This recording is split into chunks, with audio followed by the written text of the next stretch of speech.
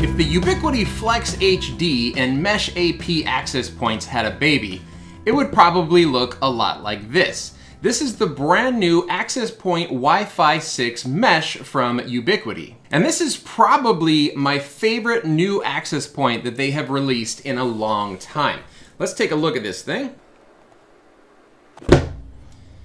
All right, so it has the form factor of the Flex HD, it actually feels like it's a little bit smaller than the Flex HD, but this access point is in their mesh lineup and it's also Wi-Fi 6, which is new. They don't have an existing Wi-Fi 6 mesh access point. This little access point features 4x4 multi-user MIMO in the 5 gigahertz range and 2x2 MIMO in the 2.4 gigahertz range. It has a 1 gigabit Ethernet port and it is powered by 802.3 AF PoE. The other cool thing about this access point is that it is IPX5 weatherproof, meaning that it can be protected from splashing water from any direction. I think technically it's low pressure streams of water from any direction, which means that this access point is made to be placed outside. But aesthetically, it's sort of pleasing enough to be inside on a shelf or anywhere. It's going to just be a really nice sort of unobtrusive access point as opposed to like, you know, one of their big round ones. The MSRP of the U6 mesh is $179, which is about $30 more than the U6 Pro access point, which was also recently released.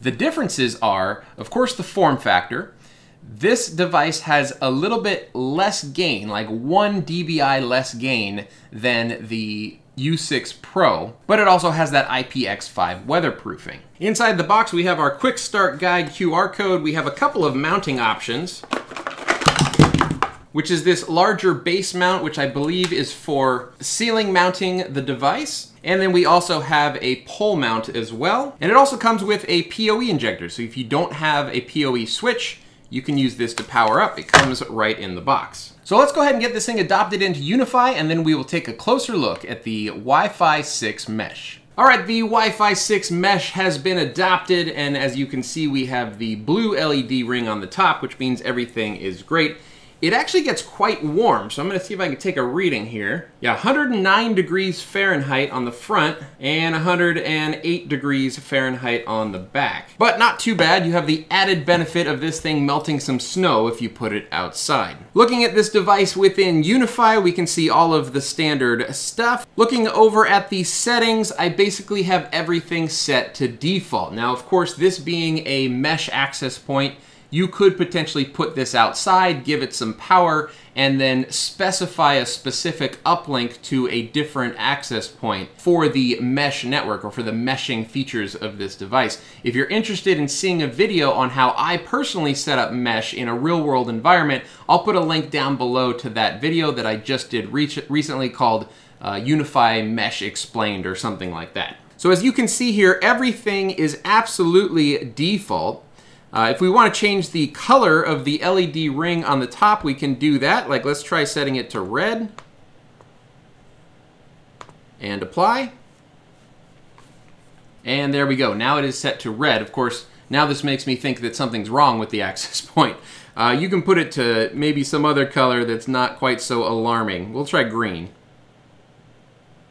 And when you change the color and click apply, it takes about eight or nine seconds to actually hit the access point itself. If we look at network, we can set a static IP or use DHCP as far as services go. Again, this is all just very, very standard stuff. But how does this device perform? Well, let's go ahead and run some speed tests. So speedtest.net, we're gonna say go. Now this speed test is Wi-Fi 6, so 802.11ax from my laptop to this device and then out to the internet from there. I've got a 600 megabit internet connection in my home office here. And as we can see, it's performing, you know, pretty well. We're getting close to 400 megabits per second uh, wirelessly, Wi-Fi 6 from my laptop over to this device. There we go, final result, 376.7 down by 41.7 up. Also running a speed test from my iPhone to this device. We're gonna say start speed test. And we ended up with 390 down and 45.6 up. So yeah, like really good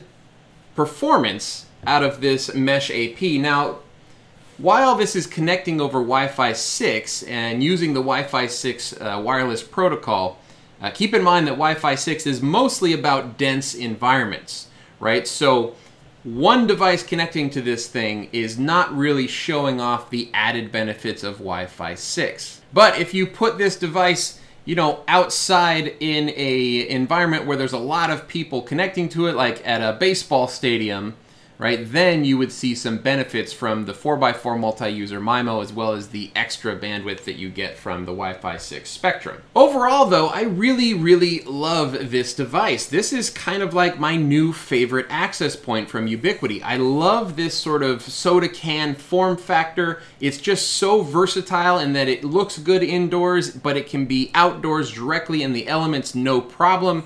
And uh, yes, yeah, so if I'm going to be recommending access points, this is definitely going to be at the top of the list of my recommended UniFi access points. Keeping in mind though that I have not tested out the U6 Pro yet. That's going to be next on my list to test out. I already have it here. I'm just waiting to get that uh, get that video done. All right, so have any of you guys gotten your hands on the U6 Mesh yet? What do you think about the access point? Put that down in the comments below. I'm always happy to hear your feedback. If you guys enjoyed this video, make sure you give me a thumbs up you'd like to see more videos like this, please click subscribe.